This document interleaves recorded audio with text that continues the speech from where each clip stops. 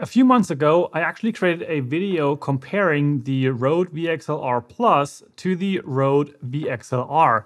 And these are adapters so that you can connect any kind of microphone that usually uses a TRS or mini jack connection straight to a audio recorder like the Zoom H5 or the Zoom F6, which I have right here. The big thing there being that you can actually use the XLR connection at the bottom of the H5 here, for example. And XLR cables are a very different kind of cable than the usual TRS or normal, like an auxiliary cable connection. Now, however, Rode released a completely new adapter to this lineup, the Rode VXLR Pro. And you're probably wondering, why do you actually need three different adapters doing exactly the same thing? But that's exactly what we are going to cover in this video, a full-on comparison between these three adapters and their different use cases. First up, as in many other videos, a quick disclaimer. The Rode VXLR as well as the Rode VXLR Plus I purchased about last October to test them out and use them in my own set. Now, since the video where I compared these two was so well received, now that Rode actually released the VXLR Pro, I asked them and they were able to kindly send me one even before they became available in stores. So as of making this video, the Rode VXLR Pro is actually not available in most online stores that I have checked, but they will become available relatively soon. But for transparency, Rode gave me this review for the purpose of making this review. I'm not receiving any additional money, so this is not a sponsored video, and I get to keep the adapter once the video is finished. So with that said, let's jump in, open this box up, and compare the feature sets of these adapters. Now, first things first, of course, we have to get into the box. And for that, I need a bit of more space right here. And of course, I kind of already opened it before. It's a relatively simple box, to be honest. Just a bit of cardboard, a little bit of a hanger. And once you have it open, this is what you get inside of the box. And there is a little clip like so. And now we can get rid of that, have the adapter right there. And for a quick glance, this is the box with a bit of a description at the bottom and the back, and that's that. Now, generally speaking, this adapter is very much similar to all the other adapters, of course. It is a little bigger, and it also is significantly heavier than the other two. These two coming in at about 48 grams, and this one coincidentally at 84 grams. Conveniently, the VXLR Pro and the Plus both come with a little belt clip like so, so you either can clip it to some gear or maybe even use it as a belt when you're using this to run a lavalier microphone into a XLR cable to, for example, just wire that up when you have someone sitting for a relatively long time. Now, I don't really use these clips. I have them stored in a bit of a box or something because most of the time I just need the adapter. Let's go and have a couple steps back. What are these adapters for and what do they actually do? Now, for the most part, these adapters, and it doesn't really matter which one you choose, adapt a signal from a 3.5 millimeter mini jack connection, or also called a TRS connection, to a three pole XLR male connection. So that's the basic premise of all three of these adapters to go from mini jack to XLR. Now, why would you actually want to do that? And I would say the most obvious reason being that you, for example, want to use something like this microphone, the Rode Video Micro. And of course, this also works with other brands. This is not limited to Rode. Rode microphones are just the ones that I happened to be using for the last couple of years for the most part. So that's the one that I have right here. So with this Video Micro, you can just plug this into this adapter. And from there, you can, for example, go with that signal into a audio recorder like the Zoom H5 that I have right here. Now, there are many reasons why you might want to do something like this. For example, you want to use a more professional audio mixer and also still use the microphones that you have been using for a long time. So that's one of the obvious reasons for adapters like this.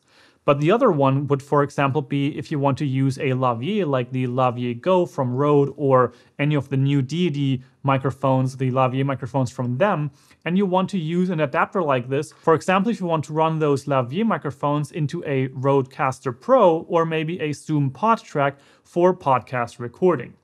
All of those use cases need the normal mini jack connection to XLR because those other devices like the Zoom PodTrak P4, the F6, the H5, the Rodecaster Pro, all of those expect a XLR signal. So that's the basic reasoning why you might want to do that. However, then there are three of these adapters. Now, these three actually are very different, and there are good reasons to go with these different ones for different purposes. Of course, they also have different price points, starting here with the smallest one, the Rode VXLR, which is about 9 US dollars. Then we have the Rode VXLR Plus, which is about 25 US dollars as of recording this video. Now the new kid on the block, the VXLR Pro, costs about 40 US dollars as of the release date, and by doing so, it is by far the most expensive out of these three. However, there is a good reason for that, and it has a specific feature set that also makes it pretty special and also probably worth the money. But let's dive deeper into this comparison as to what these different adapters do and why you probably should not go for the Rode VXLR depending on what you want to do. Now, the first major difference between these is actually something that both of these, the Pro and the Plus, have in common. However, the Rode VXLR does not. And that is the conversion of phantom power to plug-in power. The Rode VXLR, this one right here, the cheapest of the three, is simply a adapter which takes whatever you put on here and just makes a wire swap and gets it to the outside of those three pins right there. So there are no electronics whatsoever inside of the Rode VXLR adapter. This one simply takes the wires from one type to the other side. And that's the one for about 10 US dollars or 9 US dollars. However, the problem there is that a lot of microphones actually need plug-in power. Like, for example, this one right here, which is the Rode Video Micro, this microphone does not have a built-in battery, and thus it needs power from the device that you're connecting it to. And that type of power is called plug-in power. Now, those XLR microphones that you usually plug into a device like these audio recorders here, those either need no power or they need something called phantom power. The problem is that phantom power is actually something between 24 and 48 volts, whereas the plug-in power that microphones like these need is around 5 or under 5 volts. And that is a really big difference. The same thing is also true for a microphone like, for example, here, the Rode VideoMic NTG. And the difference there is that the VideoMic NTG actually does have a built-in battery, so it does not really need the battery power from the plug-in power to be powered. However, the plug-in power on the VideoMic NTG is used to detect whether or not the device should be turned on, so the microphone should be turned on or not. Now, with this microphone, you actually have the option to just turn it on by yourself by using the power button. But I also have used, for example, the Deity VMic D3 Pro, and that one also has a built-in battery, and it has this smart standby mode, but that one actually needs the plug-in power to be powered on because otherwise it just does not turn on. So you have to be aware of that. Why am I telling you about all this phantom power and plug-in power? Again, The difference between these two adapter sets here, the VXLR and the Pro and the Plus, is that the VXLR is just wires, no electronics. On the other side, we have the Rode VXLR Plus and Pro, and both of these actually have transformers inside which take the phantom power the audio recorder provides and they both turn it into plug-in power for the microphones that you have plugged in right here at the top.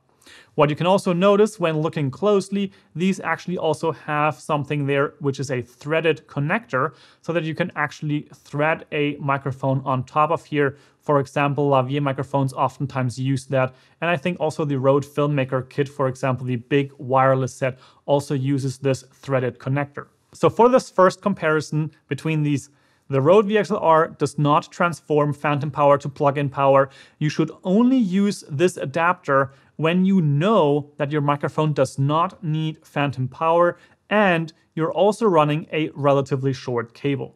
Then the Rode VXLR might be the right adapter for you.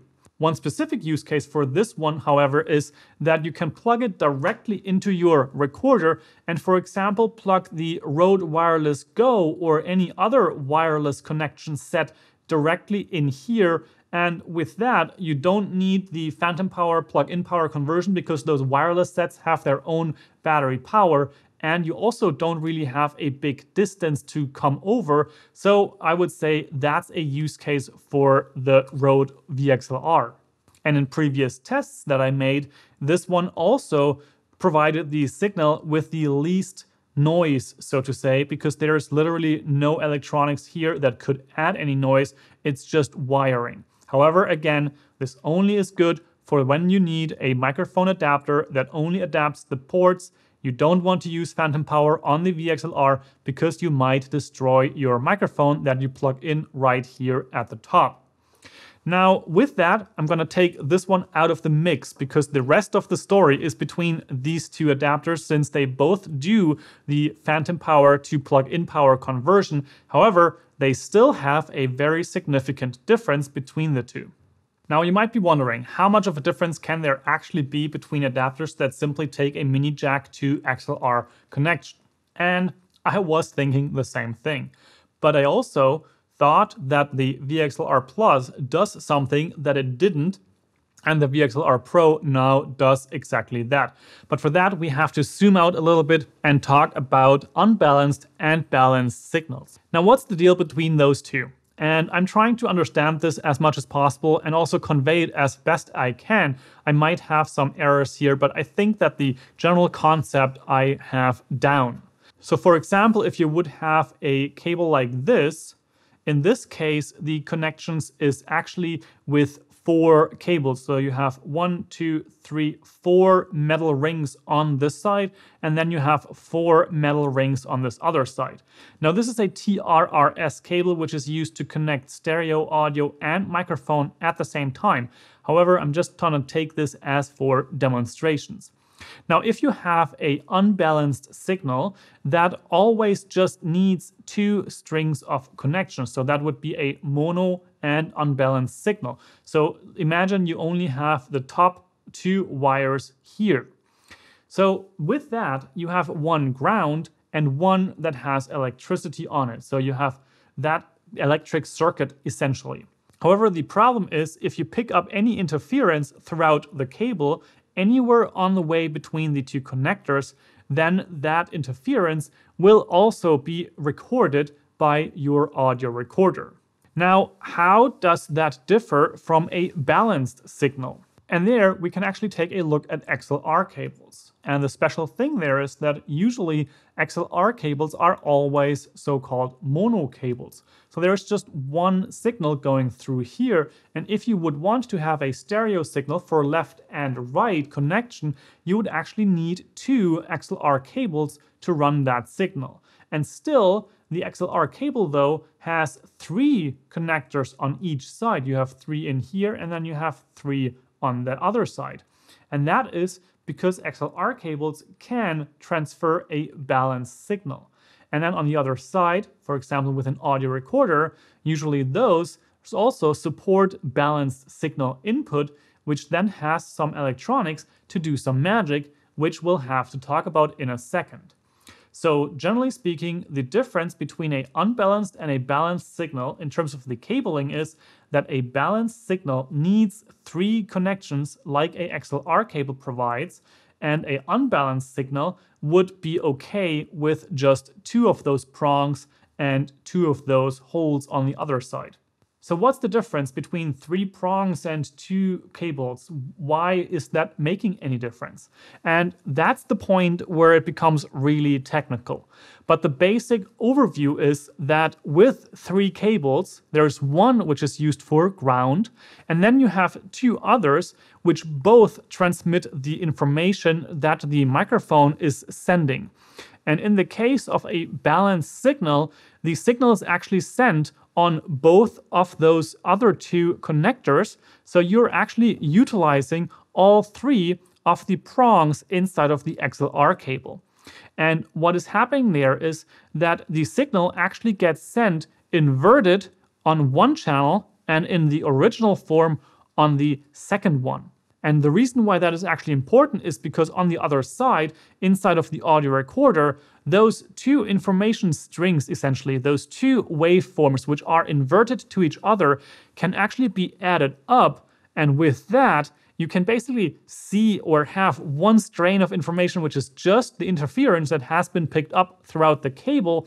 And with that, you can then remove the interference and you have a clean signal on the other side because you basically split the signal in half, inverted one, sent those two through the cable, and then packaged them back together and kind of doing a error control or a fail control and having a clean signal on the other side.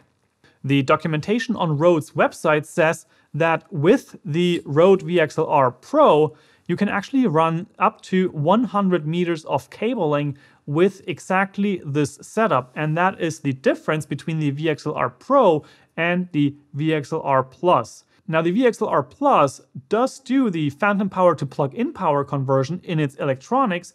However, it does not do the work that is necessary to provide that balanced signal. That is something only the new VXLR Pro also supports. So now that we have discussed the basic difference between these three, I'm also going to include a sound sample of each of these adapters recorded into the Zoom F6, trying to hear whether or not there are any issues.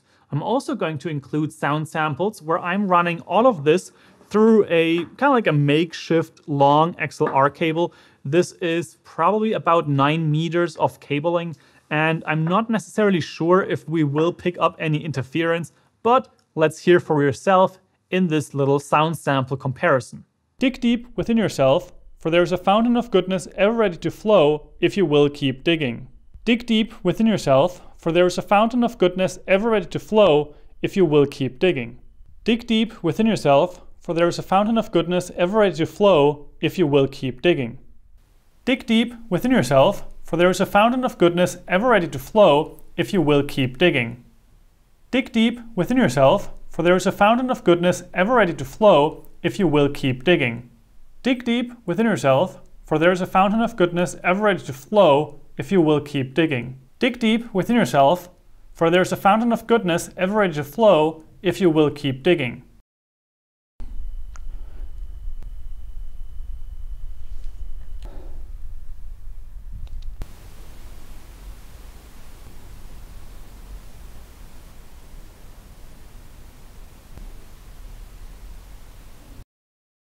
Now I hope up to now this video was already filled with information for you and you could understand a little better what the difference is between the VXLR, VXLR Plus and VXLR Pro. Generally, to kind of like conclude this, the VXLR is a adapter that you should only purchase if you know your microphone does not need phantom power. For example, when you want to use the Rode VideoMic NTG and also don't want to run any long cables because again, this only changes the wiring from mini jack to a XLR input um, and it does not do anything else than that. On the other hand, the Rode VXLR Plus is probably enough if you are using the whole thing within your own little YouTube studio or something similar and you are not working on a full set with a lot of interference, a lot of wireless connections, a lot of other cables, and also if your cables aren't really that long. But you do want to have the conversion of phantom power from phantom power to plug-in power so that you can then also power, for example, a microphone that needs that. And then we have the new kid on the block, the Rode VXLR Pro, basically for those situations where you want to have the safety and security that even though you have long cables, you have a lot of interference, you have wireless connections going on, and all of those things, and your signal is going to be fine when you're using this adapter. Something to note here is that an adapter like this should always be used on the side of the microphone, so that the connection between the microphone and the adapter is as short as possible. And then you have a balanced signal that is transmitted through a XLR cable to your audio recorder. You should not be using something like this, which is a normal TRS connection and an extension cord in that, because that of course is not a balanced signal and it is very much prone to signal degradation and of course the pickup of interference. So again, the Rode VXLR Pro, it is the most expensive between the three adapters that Rode offers in this area, but it also is the one that gives you the most safety in terms of connecting your microphone to your audio recorder and not recording interference, and instead recording a very clean signal. Now I hope with this video I could give you a bit of an understanding and overview of the different Rode VXLR adapters. Now if you would like this video then I would appreciate a thumbs up. If you want to check out these products on Amazon and other stores you can check out the links in the description that I have prepared there. And if you have any questions, recommendations or feedback you can leave those thoughts in the comment section down below. I'm going to try to answer you there or make a video specifically about your question.